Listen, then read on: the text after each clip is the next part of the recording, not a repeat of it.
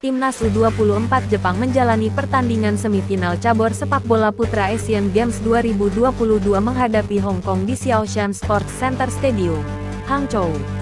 Hong Kong merupakan tim kejutan pada Asian Games kali ini. Pada prosesnya menuju babak semifinal, mereka berhasil tampil mengejutkan usai menaklukkan Palestina di babak 16 besar dan Iran di babak perempat final.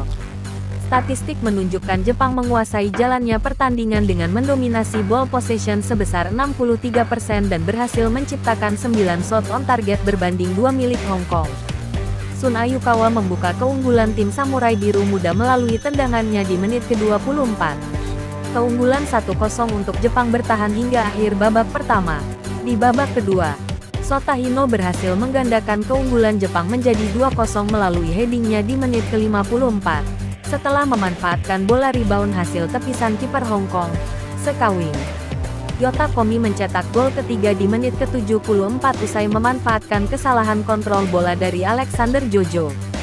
Sota Hino kembali mencetak gol keduanya di laga ini.